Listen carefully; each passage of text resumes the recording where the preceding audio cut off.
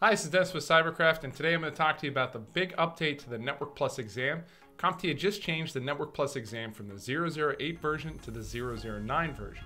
And on the surface, it doesn't look like a whole lot has changed, but the underlying structure of the test and the concepts that are presented by CompTIA has been pretty significant. So let's go ahead and take a look at that. I'm going to go through a couple different articles, one of which is an article I wrote on the update. So this is you can find this on cyberkrafttraining.com, and you find that in the link uh, below. But basically, CompTIA changes their exams every three years. They update them. This is the latest update from 008 to 009. And what they've done with this one is that they've changed this to uh, to a new version with brand new concepts and new techniques for networking. So if you look at the domain break, uh, breakdown, the difference in the percentages from each domain, the network fundamentals changed by 1%, network implementation changed by 1%, network operations changed by 3%, and security changed by about 5%. So there used to be a much larger focus in security, for example, than there is now in the new Network Plus version. New Network Plus version is really more focused on that networking piece. So let's take a look at uh, CompTIA's networking um, or the Network Plus exam objectives here. So this is the usually the guiding document that tells you what concepts are being taught in the exam. And we can see the breakdown here. Network security used to be a bigger focus, almost used to be a subset, and it's still the same concepts taught in Security Plus you'll find in Network Plus, just not as big of a, a portion of those in Network Plus 009 than there were in 008. So we see more focus on that networking operations. And that's with Shift trying to uh, help networking students work in an, an environment like a SOC uh, operations center or a network operations center, a NOC. So that focus really does align with how networking is done in the modern world. Uh, usually, networking activities are coordinated in some sort of operation center. So, I think that's a good change overall.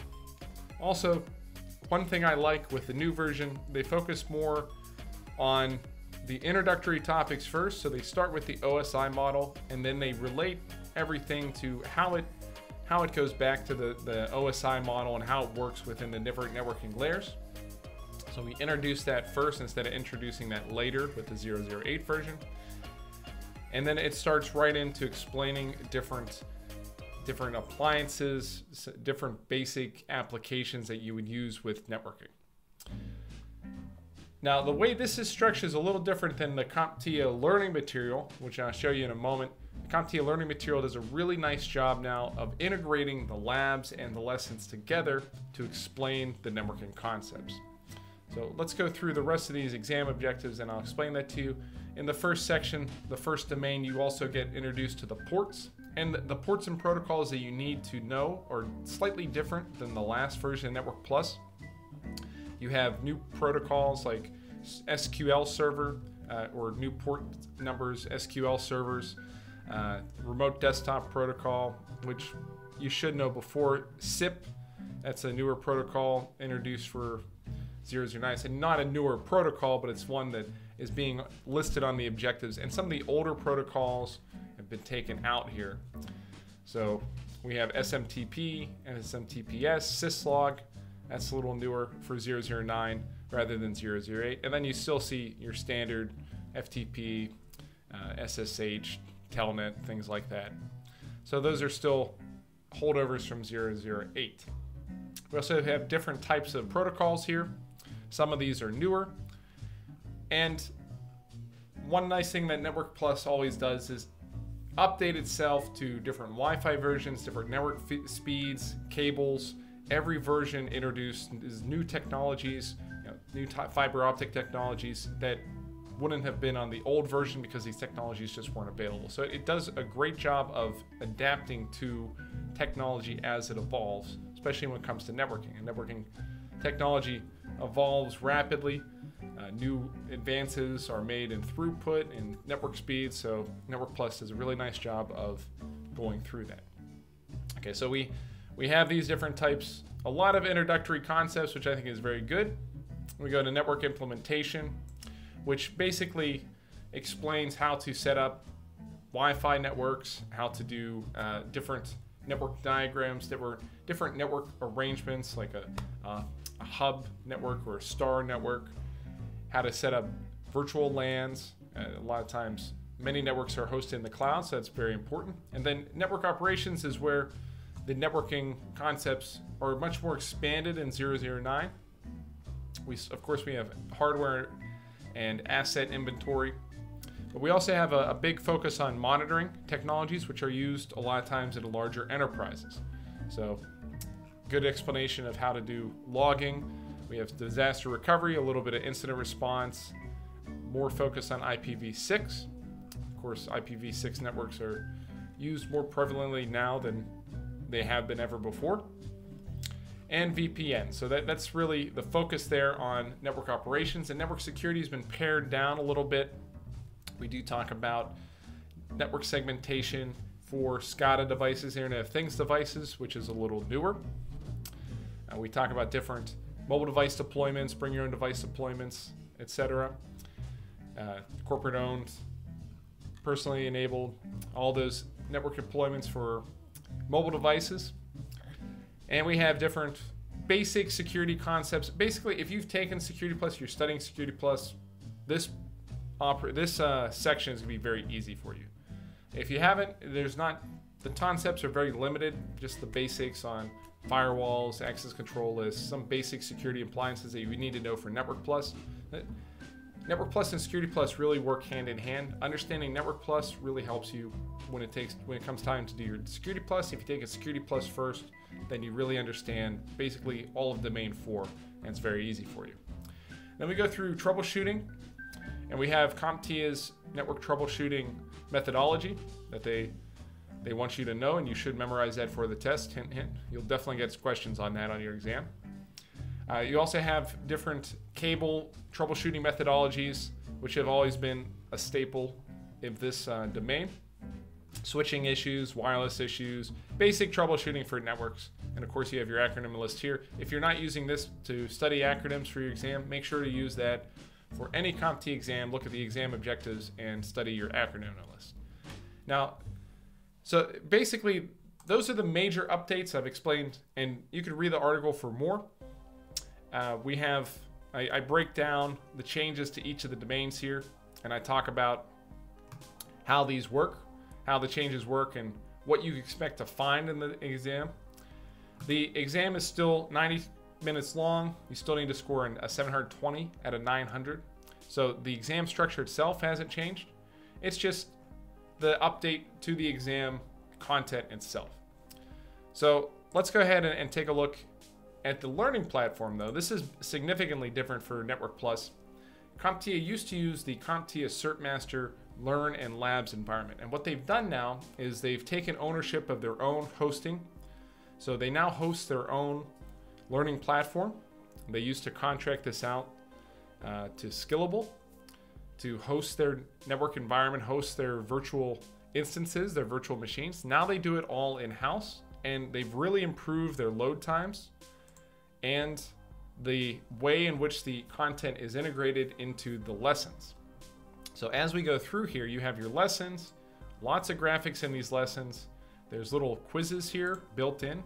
We can go access these quizzes, uh, take those assessments, and then go right back into the, the learning material. And once you've done that, you have a, these lessons are great because they have a mix of performance-based questions and PBQ. So we have basically, this is kind of like a PBQ type question. Which network te technology uses a central device for messages to a destination device? So we can pick that. And this is going to be more of an interactive type of question than the standard multiple choice. Of course, the, the actual exam is going to have a mix of multiple choice and PBQs. So we can, you know, let's close out that learning uh, assessment. But once we're done with that, we can go we have a little review, and then we have a lab right here built in. So we can go ahead and start our lab. It's going to be hosted by CompTIA, and it loads up very quickly. So it's already loaded. And here we have at the bottom different devices. And in this one, it's a basic lab. We're asked to create essentially a network design. So we're to move these five computers in here. We're going to move a switch. And then we're going to go ahead and have a router.